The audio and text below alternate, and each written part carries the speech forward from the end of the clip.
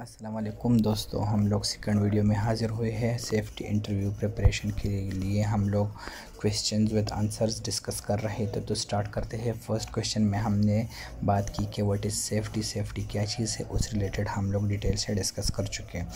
आज का हमारा है सेकंड नंबर क्वेश्चन वो क्या है? आप लोगों से पूछा जा सकता है what is personal protective equipment personal protective equipment क्या चीज़ है?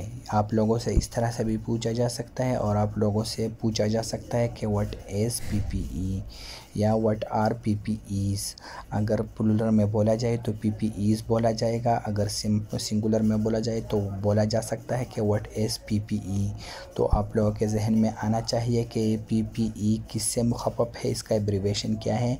Personal P for personal P for protective and pre for E for equipment तो पर्सनल प्रोटेक्टिव इक्विपमेंट इसका मतलब ये है, आप लोग पहले इस बात को जहन में याद रखिएगा। फिर इसकी मीनिंग्स में अगर हम लोग चले जाए तो पर्सनल अपनी ज़ात से रिलेटेड मतलब बंदे के अपने पर्सनल वर्ड यूज़ करते हैं तो पर्सनल तो वो किसी बंदे से रिलेटेड होगा। प्रोटेक्टिव का क्या मतलब है? हिफाजती।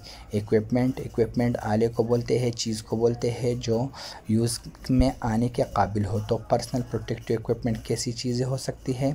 ऐसी चीज़ें जिसको हम लोग मुख्तलिफ़ साइड्स पे पहन सकते हैं, मुख्तलिफ़ साइड पे यूज़ कर सकते हैं, किसी लिए कि हम लोग ख़ुद को प्रोटेक्ट करें। किस तरह से? वो इक्विपमेंट हम लोग यूज़ करेंगे ताकि हम लोग ख़ुद को प्रोटेक्ट करें साइड के मुख्तलिफ़ कंडीशंस और सिचुएशंस को देख के।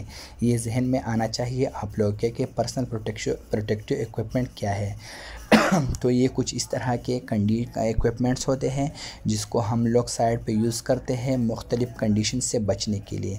लेट से मैं साइड पे काम कर रहा हूँ और वो है हमारे साथ मुख्तलिफ़ लेट से साइड पे हमारे साथ शटरिंग का काम चल रहा है, जिसमें कीले भी है, जिसमें हमारे साथ और भी चीज़ें हैं स्टील भी है तो मेरे पाँव पे क्या होना चाहिए? मेरे पाँव पे सेफ्टी शूज़ होने चाहिए।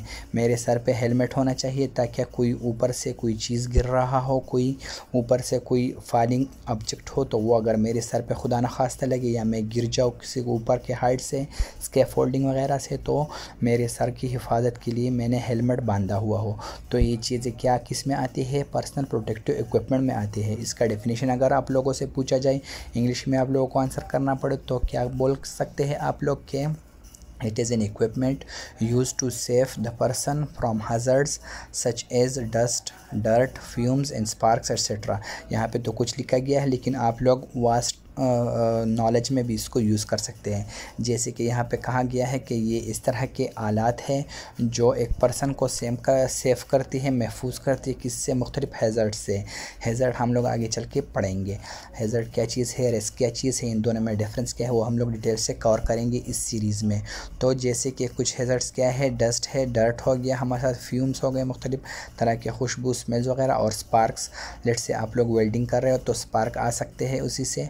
तो मुख्तलिफ़ कंडीशंस हो सकते हैं। मैंने आप लोगों को सेफ्टी हेलमेट के बारे में भी बताया। दिया कि फॉलिंग ऑब्जेक्ट्स हो लेट से आप लोग ज़मीन पे काम कर रहे हो और कील वगैरह पड़े हो स्टील में आप लोग काम कर रहे हो तो वो किस तरह से आप लोग पी पी यूज़ कर सकते हो? वेल्डिंग कर रहे हो तो आप लोग के ग्लासेस होने चाहिए। मुख्तलिफ़ तरह के पी पी ईज़ हो सकते हैं। It is the barrier between hazard and the person और हेज़र्ड जो आप लोगों को नुकसान पहुँचा सकता हो, ऐसी चीज़ को हेज़र्ड बोला जा सकता है सिंपल वर्ड्स में। तो हेज़र्ड और उस पर्सन पर्सन के बीच में ये एक बैरियर है, ये एक रुकावट है और ये मना कर रहा है, ये रोक रहा है उस हेज़र्ट को ताकि वो उस पर्सन को नुकसान ना पहुँचाए। तो इसको क्या बोलेंगे? इस इस तरह के टूल्स इस तरह के इक्विपमेंट्स को क्या बोलते हैं? पर्सनल प्रोटेक्टिव इक्विपमेंट्स पीपीईज के नाम से ये हो स्टैंड करता है। H S stand for PPEs अब अगर यहाँ पे इसमें उर्दू में भी इसका डेफिनेशन लिखा गया है कि पीपीईज की तारीफ़ उर्दू में क्या है, ये एक ऐसा सामान है जो इंसान को ख़तरात से महफूज रखता है, जैसे कि धूल, गंदगी, धुएँ और चिंगारियों वगैरह। ये ख़तरा और इंसान के दरमियान रुकावट है। अब यहाँ पे कुछ पी पी ईज़ अगर आप लोगों के, कि हमें बता दो हाँ tell me something some examples of P P Es personal protective equipments तो आप लोग बोल सकते हैं कि सेफ्टी ग्लासेस हो गए।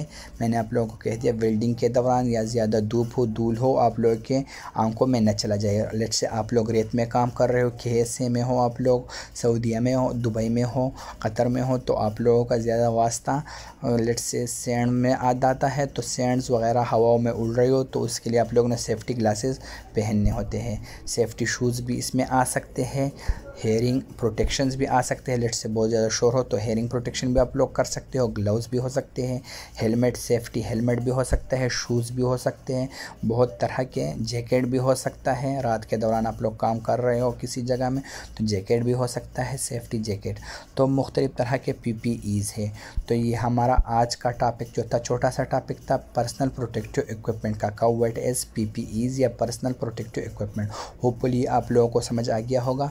कमेंट सेक्शन में अपनी राय ज़रूर दीजिएगा और इंशाल्लाह हम अपनी नेक्स्ट छोटी सी वीडियो में बात करेंगे। थर्ड नंबर क्वेश्चन में कि व्हाट इज़ एक्सीडेंट एक्सीडेंट क्या चीज़ है? वीडियो को लाइक करना ना भूलिएगा और साथ में अपनी राय ज़रूर दीजिएगा। शुक्रिया।